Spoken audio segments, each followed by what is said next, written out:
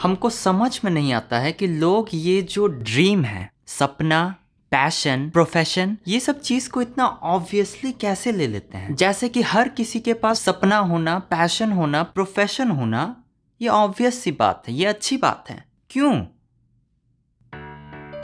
क्यों? क्यों ऐसा है?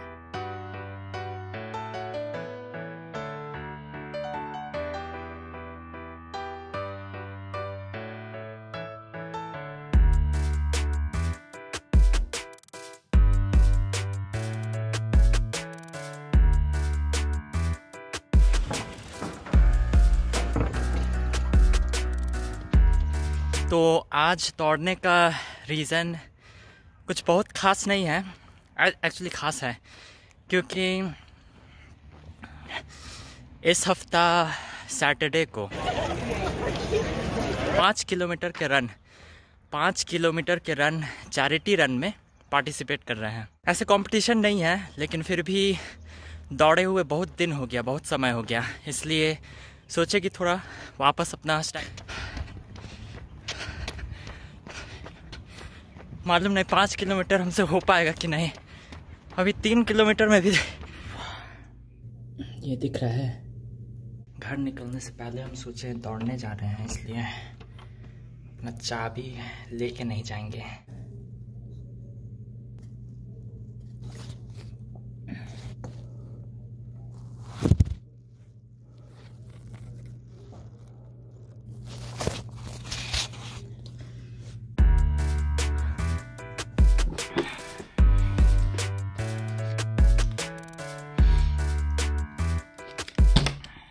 आज के एपिसोड का सिर्फ़ और सिर्फ़ एक ही मकसद है, और वो है इस सवाल का जवाब देना।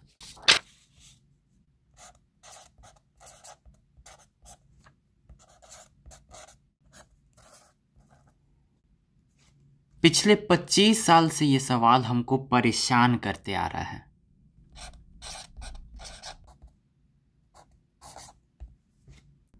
Profession versus hobby. हॉबी, जब हम लोग हॉबी के बारे में बात करते हैं तो हॉबी में हम लोग को कोई दिक्कत नहीं होता है। सबको मज़ा आता है हॉबी में। जैसे क्रिकेट हो गया। या फिर मेरे लिए रनिंग। मेरे लिए रनिंग एक हॉबी है। तो ये सब चीज़ को हम उतना सीरियसली नहीं लेते हैं। जब मन करता है, तब करते हैं। तो वी ऑल लाइक हॉबीज़। यहाँ कोई दिक्कत नहीं है। सब बढ़िया, सब मस्त है। दिक्कत कहाँ होता है?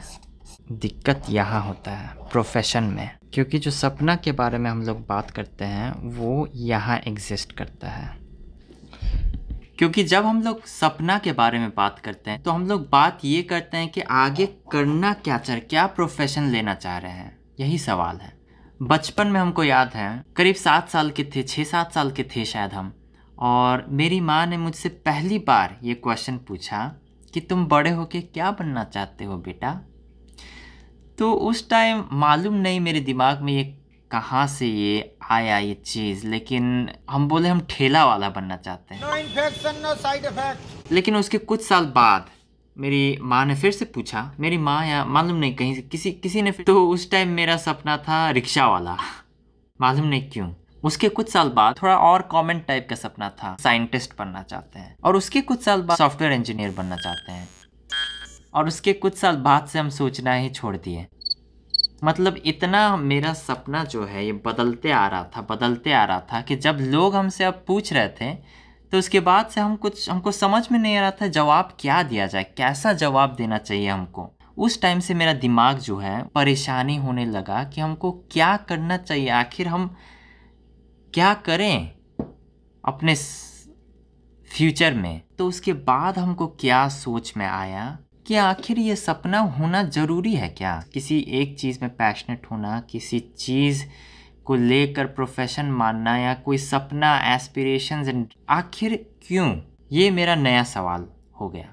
और पहले ही अगर कंक्लूजन बताते हैं मेरे लिए इस सवाल का जवाब नो है नो तो आज हम आपसे लाइफ का तीन facts three facts of life के बारे में आप लोग के साथ शेयर करना चाहते हैं। जो कि हमको इस सवाल का जवाब देने में मदद किया। We work because we want to, not because we have to. ये ऑलमोस्ट हम अपना सीक्रेट आपसे शेयर कर रहे हैं। अपने लाइफ का सीक्रेट आपसे। ज़िंदगी में ऐसा कोई भी चीज़ नहीं है जो आपको करना हो क्योंकि आपको करना हो। समझ रहे हैं। ज़िंदगी में ऐसा कोई भी चीज़ नहीं है जो आपको करना है क्योंकि आपको करना है। Everything in life is a choice ज़िंदगी का हर एक चीज़, कोई भी चीज़, एक एक से एक, हर एक चीज़ मतलब एकदम हर एक चीज़ आपके चॉइस पर है। मेरे ज़िंदगी में मेरा चॉइस आपके ज़िंदगी में आपका चॉइस तो आप कह सकते हैं तो हम पैदा हुए हैं, ये मेरा चॉइस नहीं है। और हम पैदा हुए इंडिया में, और इंडिया में पैदा होके अभी हम जो लाइफ जी रहे हैं, ये मेरा चॉइस नहीं था। और जो कॉलेज जा रहे हैं स्कूल जा रहे हैं स्कूल में पढ़ाई कर रहे हैं, जो हमको, जिसमें कि हमको एक भी इंटरेस्ट नहीं है, उस चीज़ को लेके हम पढ़ाई कर रहे हैं, अपना ज़िंदगी जी रहे हैं, ये मेरा चॉइस नहीं है। आप पूछ सकते हैं, कोई बात नहीं, आप पूछ सकते हैं, बहुत ऑब्वियस बहुत अच्छा क्वेश्चन है। आपके ज़िंदगी में भले ही जो कुछ आपका गिवन सिचुएशन है, वो आपका चॉइस नहीं था। लेकिन ये आपका चॉइस है कि जो गिवन सिचुएशन है, आपको जो स्थिति दिया गया है, उस चीज़ को लेके आप क्या करेंगे अब? अब आप उस चीज़ को लेके क्या करेंगे? वो आपका चॉइस है। चार्ली भाई, बोलना आसान है यार। समझते नहीं हो, तुम नहीं समझ पाओगे। I am sorry to say this लेकिन ऐसा सोचना भी आपका चॉइस है। आप या तो सोच सकते हैं कि हाँ भाई it's easy for you to say या आप सही में इस चीज़ के बारे में एक बार सोच सकते हैं कि कहना लड़का कहना क्या चाह रहा है? एक बहुत बेसिक क्वेश्चन आपसे हम पूछते हैं। आप खाना क्यों खाते हैं? और इसके बारे में थोड़ा सोच के देखिए एक बार। Do you eat to stay alive या do you choose to stay alive आपका लाइफ चेंज जाएगा सेकेंड पॉइंट पे जाते हैं second point Then I'll tell you what changed my whole life when I finally discovered It's all risky. The minute you were born, it got risky. If you think trying is risky, wait till they hand you the bill for not trying. If you think investing is risky, wait till you get the tab for not investing. See, it's all risky. Getting married is risky. Having children is risky. Going into business is risky. Investing your money is risky. It's all risky. I'll tell you how risky life is. You're not going to get out alive. Everything is risky ऐसा कोई चीज़ नहीं है जो बिना risk का हो। आप अगर चाहे तो हर किसी भी चीज़ में आप कंप्लेन ढूंढ सकते हैं। तो हम ज़िंदगी को इस तरह से देखते हैं। दो चॉइस है और दो चॉइस में आपको चूज़ करना है। पहला, आपको आपके सामने कोई थप्पड़ मार रहा है। दूसरा, आपको आपके पीछे से सर जी, कौन मारा जी? कौन मारा जी? और ये दो चीज़ का डिफरेंस क्या है कि पहला चीज़, जो आपको थप्पड़ मार रहा है, आपको मालूम है कि कौन आपको थप्पड़ मार रहा है और कहाँ से किधर कब मारने वाला है, आपको एक्सपेक्टेशन है इस थप्पड़ के बारे में। और अगर आप चाहें और आपके पास अगर इतना एबिलिटी है तो थप्पड़ मारते टाइम या तो आप इसका हाथ पकड़ सकते हैं, या फिर आप डॉज कर सकते हैं, कुछ कर सकते हैं। लेकिन जब आपको पीछे से कोई मारता है, मालूम नहीं आपको कभी एक्सपीरियंस हुआ कि नहीं असेंबली टाइम में ज़्यादातर, पीछे से कोई ना कोई ऐसे मारेगा सर पे, उसके बाद एकदम चुप रहेगा, खोजते रह जाते हैं, कुछ कभी कभी मिल जाता है, लेकिन डिफरेंस समझ रहे हैं ना। तो मेरे साथ क्या था मतलब बचपन में जब हमसे बड़े हो के क्या बनना चाहते हो? तो इस सवाल का जवाब देने में हमको मुश्किल मुश्किल इसलिए नहीं लगता था कि हमको किसी चीज़ में इंटरेस्ट नहीं है। लेकिन हमको मुश्किल इसलिए लगता था क्योंकि हमको बहुत ज़्यादा चीज़ में इंटरेस्ट था। मतलब हम इमेजिन नहीं कर सकते थे कि हम किसी एक चीज़ को चूज़ करके पूरे लाइफ टाइम मतलब ज़िंदगी भर हम वो एक ही चीज़ कर रहे होंगे। लेकिन तब जब हम ये दूसरा पॉइंट जब हमको मालूम चला, तब हम खुद से क्वेश्चन करना शुरू किया क्या हम, जो मेरे साथ प्रॉब्लम था कि हम बहुत सारा चीज़ करना चाहते हैं तो क्या असली में हम सब चीज़, हर चीज़ को करने के शौक के कारण ही हम नहीं चूज़ कर पा रहे हैं? या क्या हम हर चीज़ में सिर्फ़ आसानी ढूँढने का कोशिश कर रहे हैं? क्रिकेट खेलना हमको पसंद है, लेकिन प्रोफेशनल क्रिकेट प्लेयर बनने के लिए डेली प्रैक्टिस करना हमको पसंद नहीं है। हमको गाना गाना पसंद है, लेकिन डेली वोकल ट्रेनिंग करके सिंगर बनना पसंद नहीं है। हमको सक्सेस पसंद है, लेकिन डेली रोज सुबह जल्दी उठ के हार्ड वर्क करना पसंद नहीं है। तो मतलब मेरे दिमाग में ऐसा बहुत सारा चीज़ है, बहुत सारा इंटरेस्ट है, जो कि हम करना चाहते हैं इंटरेस्ट है, लेकिन सिर्फ़ हम मज़ा ही ढूंढ रहे हैं। तो एक चीज़ कर रहे हैं और उसमें किसी मुसीबत से हमको फेस करना पड़ गया। तो उसके बाद फिर नहीं, अब नहीं, इसमें मज़ा नहीं आ रहा है, अब दूसरा चीज़ करना पड़ेगा। और फिर दूसरा चीज़ कर रहे हैं, उसमें मुसीबत आ गया तो नहीं लगता है हमको ये चीज़ में उतना टैलेंट नहीं है। तो दूसरा चीज़ तो दूसरा चीज़, फिर दूसरा चीज़। तो बार बार ये सब, हर चीज़ में सिर्फ़ सिंपल और ईजी ही चीज़ करना चाह रहे थे और तब आता है मेरा लास्ट पॉइंट और ये लास्ट लेसन मेरे ज़िंदगी में बहुत इम्पोर्टेंट था।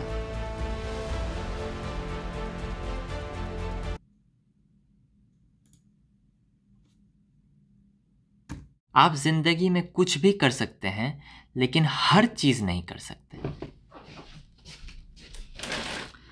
आप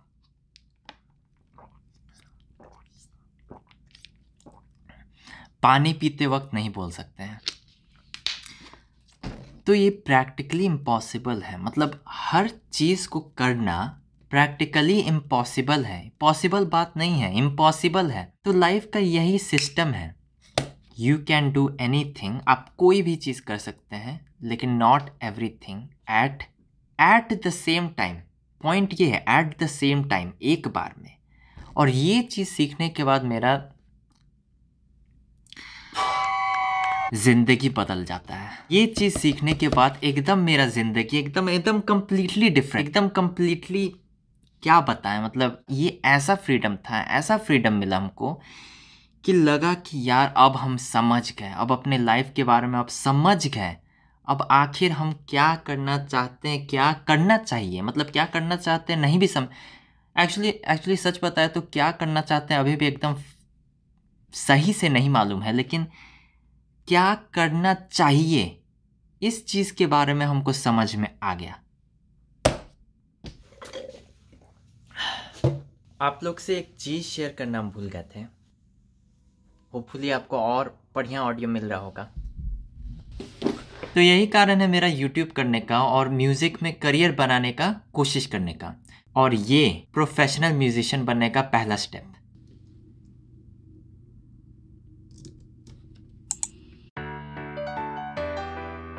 एक सवाल जो मेरे ज़िंदगी में हमको बहुत परेशान करते आ रहा था, वो ये है कि मान लीजिए कोई चीज़ को चूज़ करके किसी चीज़ में कमिट करके हम आगे बढ़ रहे हैं। और हमको पाँच साल, दस साल के बाद मालूम चला कि हमको ये चीज़ पसंद नहीं है। तो क्या किया जाए? और हमको इस एनालॉजी से काफ़ी मदद मिला है कि मान लीजिए एप्पल ट्री है। एप्पल ट्री को भी फ्रूट को लाने तक बहुत समय लगता है। करीब सात से नौ साल। क्वेश्चन ये है, अपने ज़िंदगी से अगर कंपेयर करते हैं तो सात, आठ साल तक हम मेहनत किए बहुत मेहनत किए और हम फ्रूट बेयर किए और हम कुछ रिज़ल्ट लाए, लेकिन हमको पसंद नहीं आया। मालूम चला कि ये मेरे लिए नहीं है, हम कुछ और करना चाहते हैं। ये एप्पल ट्री जो है, सेब जब खिलता है तो सेब के खिलने के बाद सेब खिल के ख़त्म नहीं होता है। ये सेब जो है, इसको यूटिलाइज करके एप्पी फेस भी बनता है एप्पल पाई भी बनता है और एप्पल एप्पल कंप्यूटर्स भी बनता है और एप्पल का एक से एक इसके बाद बहुत सारा चीज़ आप एक्सपैंड कर सकते हैं। और यही चीज़ सीखने के बाद हमको किसी चीज़ को चूज़ करना और उसमें कमिट करना, पहले इतना अब हमको डर नहीं लगता है।